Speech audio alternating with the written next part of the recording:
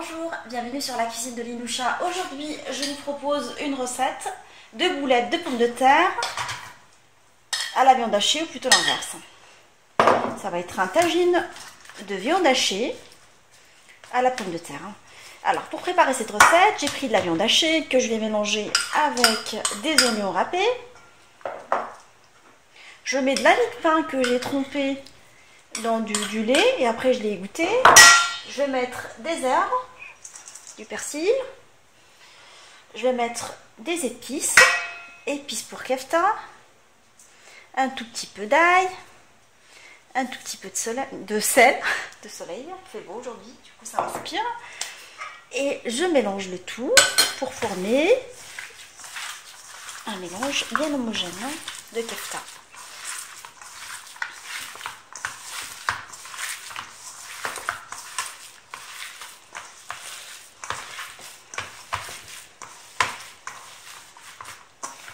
Une fois le mélange bien obtenu, je laisse reposer au frais pendant 15 minutes le temps de préparer mes pommes de terre. Là, je suis en train de préparer les pommes de terre. J'ai cuit, les pommes de terre, les petites pommes de terre nouvelles, que j'ai cuit à l'eau chaude pendant 10 minutes. Je vais les éplucher avant de les farcir à la viande hachée.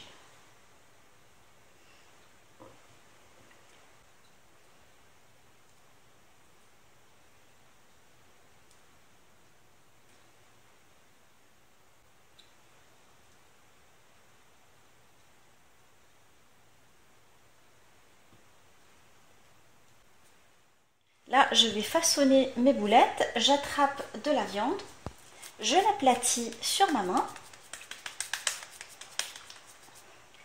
Je mets à l'intérieur de la pomme de terre et j'essaye de ramasser pour bien couvrir ma pomme de terre sur tous les côtés.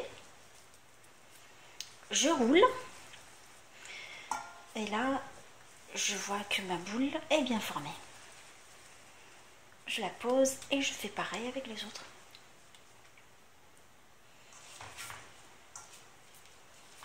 J'attrape de la viande, je l'aplatis sur ma main, je mets de la pomme de terre à l'intérieur, j'essaye de la couvrir complètement avec ce geste et je la roule.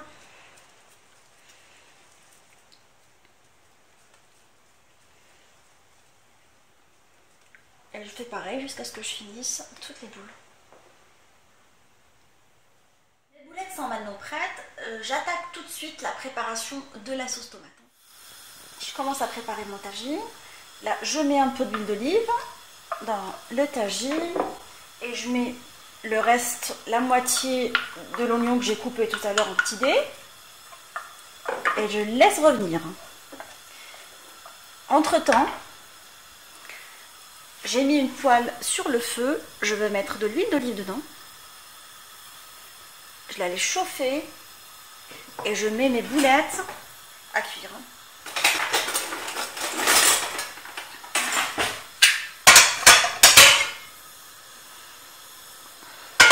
L'idée, c'est que les boulettes forment une petite croûte avant de les mettre dans la sauce. Comme on avait déjà réalisé pour le tagine de boulettes toutes simples, je préconise de les faire passer à l'huile d'olive avant de les plonger dans la sauce pour qu'ils restent bien fermes, qu'une croûte se forme et que la boulette ne se défait pas à la cuisson.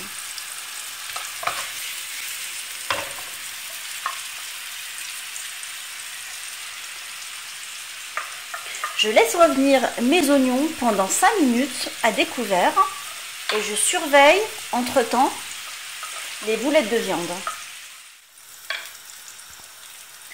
Je vois que mon oignon, a pris une jolie couleur. Entre-temps, mes boulettes, je les ai retournées sur tous les côtés pour qu'ils forment des croûtes de tous les côtés. J'éteins le feu et je le laisse de côté.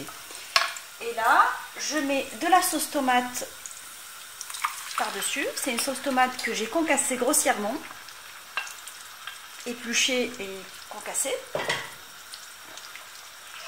Je mélange mon tagine, je mets mes épices, ainsi que le sel.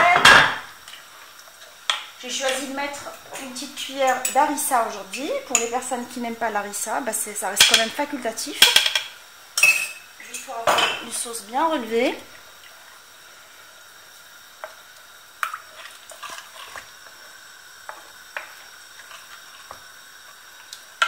Je mets le reste du persil.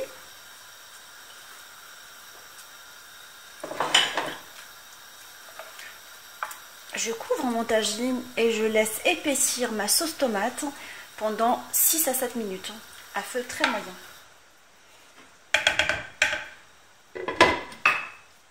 Après cuisson de la, sauce tomate pendant 7 minutes, j'ôte mon couvert et je vois que ma sauce elle est bien réduite.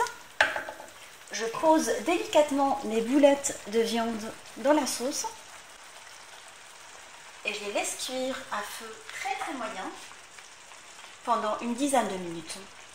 Le temps que les boules ne s'imprègnent de la sauce. À couvert bien évidemment, je couvre mon tagine.